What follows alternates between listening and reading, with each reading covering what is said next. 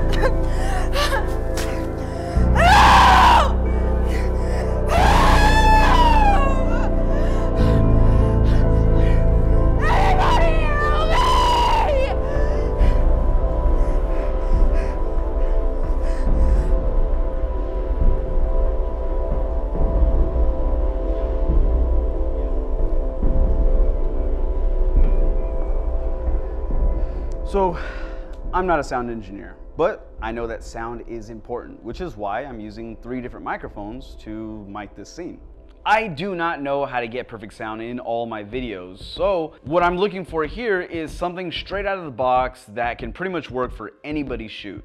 So we have the amazing Gabby Gabs here as my actress, and we're gonna mic her up with two separate lavaliers, the Sokani Tiny and the Rode Wireless Go 2. We have a boom mic in here also as a safety, but for right now, let's just focus on Rode. So today I want to put these Rode mics to the test. I wanted to see how they handle extremely loud noises. Basically, can they cover my butt if I mess up recording out on the field? I'm actually recording on it right now. Before these, I took the budget route, the Sokani Tiny. And though they look the same, they don't have the same result. The Sokani is good though. If you're just starting out and you want an affordable two-in-one microphone system, then for $100 you can't really go wrong for what Sokani is. But if you're a videographer, then you'll eventually want more for your sound. You'll be happy with the sound you get from Sokani until you hear better sound from another system. But why buy Rode Wireless Go 2? Is it worth $200 more than the Sokani? And what do you get for the extra cost? Let's say you want a good lavalier system. Which one of the hundreds of Amazon brands do you trust? Look, in all honesty, if you're truly, really looking for good, affordable audio, then the list is short. Deity, Rode, Sennheiser, and Zoom. And Rode is the most affordable.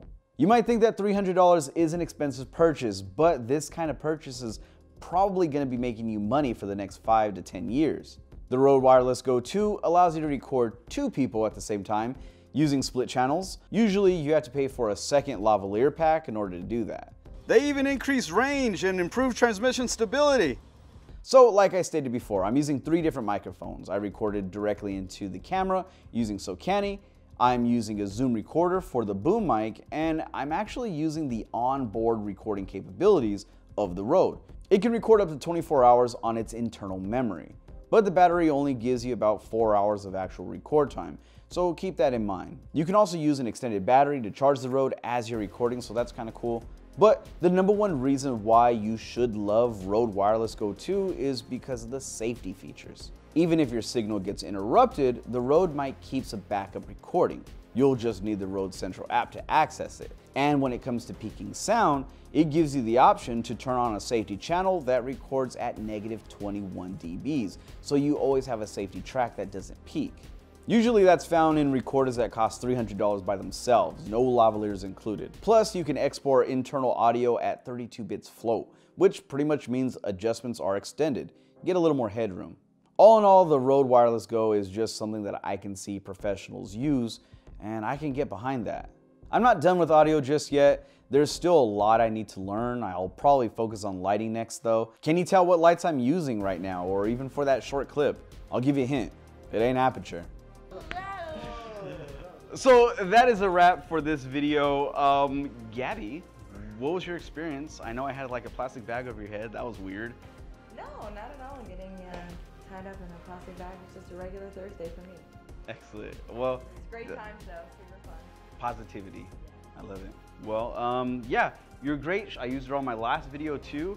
Um, check her out on her Instagram, and we'll see you all next time here. And you know, do that YouTube stuff. We'll catch you later. Peace.